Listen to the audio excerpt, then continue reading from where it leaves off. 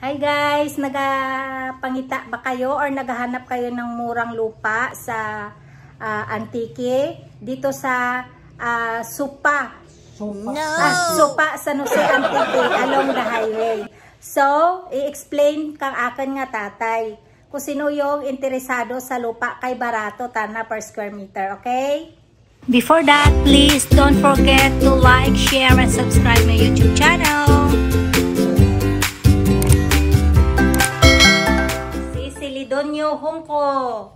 Amo dya ang vicinity map. O, sige dad. 2 hektar. Amuya, ah, amuya tana ang 2 hectares nga ginabaligya ko tag 2,500 per square meter sa front kan National Road. Yan.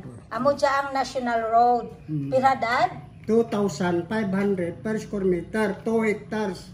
2 hectares, 2, 2 hectares ang total area.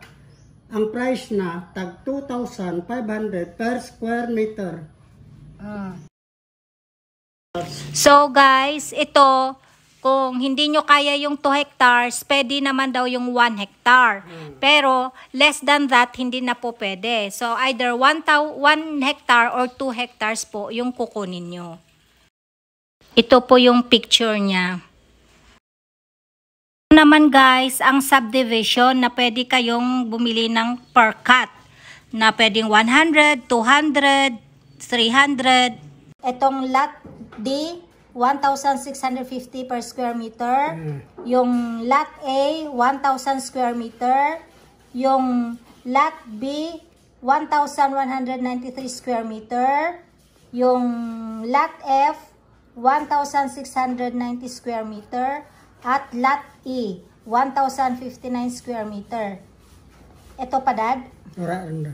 Ah, so, ito lang yung Ah, the subdivision. subdivision.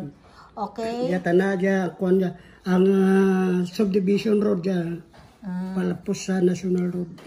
Oh, so, ito ang magiging ah, subdivision road. Yan. Tapos, pupunta ng National Ang Road. ja ay Halin National Road, Provincial Road going to barangay. Yeah, yeah, done. Okay. Nagaangat sa National Road ang Provincial Road going to mga barangay. Okay. Sa supa to. Go. Ang presyo, ang subdivision, 3,500 per square meter. Pwede man ma-down 50%. Ang balanse, mapahimo lang kang kontrata sa attorney. Oh, so nandito po tayo sa Supa, San Jose Antique. So ito po yung ah, lupa na binebenta na mura lang along the highway. So hindi na po kami umunta doon kasi sa kabila pa po yung daanan. So ito po yan banda ha, along the highway. Ha? Anto ko narado dara pagto pa rin na eh, nalit dyan na katwayan. Ah, narado. Uh, amo pa ya, ipakat, pa, pakililing ko pa ya, eh, mga kwayan niya. Ah. Hindi sandak na ba yung agi? Kung may dala na kartada, probinsya, to sa tiyak. Ah. Di may dala man diga sa tinga ara. Ah, Ang right of way palibot. ah. Kaya ang Chinese ka dyan bakal 4,000 square meter. I-floringan na yan, manibel diga pagtuto batang tamburong sa dalon. Pag-floringan. Tapos baka balay ko ay sapa dyan na mo. Ah. Yung tamburong, tamburong sa dalon.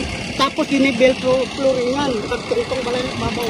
Ano Ah. na nahinga pa Chinese, butangan na pagkasulit station sa displayan kang kang susuki ng mga sakyan. Ate, nag-ano rin, nag... Nalantaw na rin niya, karwara sa bilis na lantaw. Ah. Kaya inibel ang daya pagtuto. Oh. Okay. Ija kaya ang tubang niya along the highway. National Road. Oo. Yan. Ang lupa niya, dya sa may ano, tagpira gani per square meter. 3,500 per square meter. Yan, 3,500 per square meter. May 2 hectares pa, tambi naman ka dya. Yan ay sa unahan. Tak 2,500 per square meter. 2 hectares. So guys, kung interesado kayo sa mga kalupaan, ibatang ko lang, ilagay ko lang yung number ng tatay ko, okay? So just contact him if you have any questions regarding sa ride, sa land, okay? So thank you for watching and uh, please do share this sa mga nangailangan ng mga properties So, share my YouTube channel. Thank you and God bless everyone.